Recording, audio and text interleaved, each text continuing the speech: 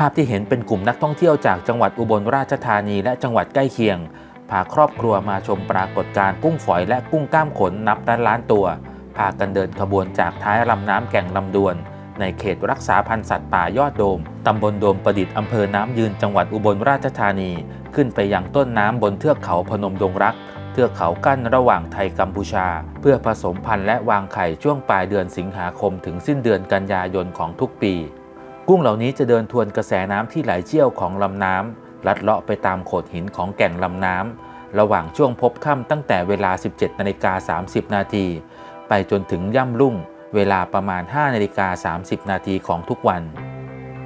จำนวนกุ้งจะเห็นได้มากหรือน้อย ก็ขึ้นกับกระแสน้ำถ้าน้ำไหลเชี่ยวแรง กุ้งจะว่ายทวนกระแสน้ำไม่ไหวก็จะพากันขึ้นมาเดินทวนกระแสน้ำบนโขดหินให้ชมจำนวนมาก แต่ถ้ากระแสน้ำไม่เชี่ยว จะมีกุ้งมาเดินให้เห็นไม่มาก ส่วนใหญ่จะพากันว่ายทวนกระแสน้ำไปตามโขดหิน จึงเป็นปรากฏการณ์ที่หาชมได้ยากหนึ่งปีมีให้เห็นอยู่ครั้งเดียวทำให้มีนักท่องเที่ยวมาชมความมหัศจรรย์ของธรรมชาติ ด้านนักท่องเที่ยวชาวอำเภอเดชอุดมที่มาชม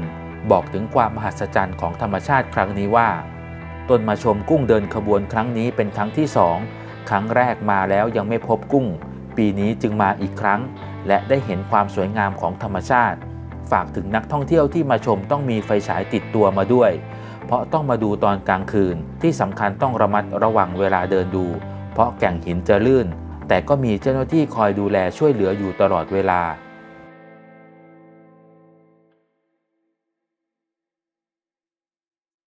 ผมมาเทยที่สองเทแรกมันบ่ทันขึ้นมาให้เบิ่งครับเทยนี้เทยเทยที่สอง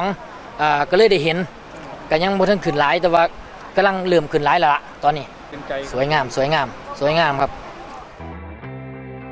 ทั้งนี้ก่อนเดินทางมาดูกุ้งเดินขบวน สามารถขอคำแนะนำได้จากศูนย์ศึกษาธรรมชาติและสัตว์ป่าอุบลราชธานี แก่งดำดวน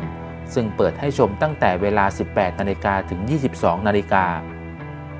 หรือศูนย์ศึกษาธรรมชาติและสัตว์ป่าอุบลราชธานี ตำบลโดมประดิษฐ์ อำเภอน้ำยืน จังหวัดอุบลราชธานี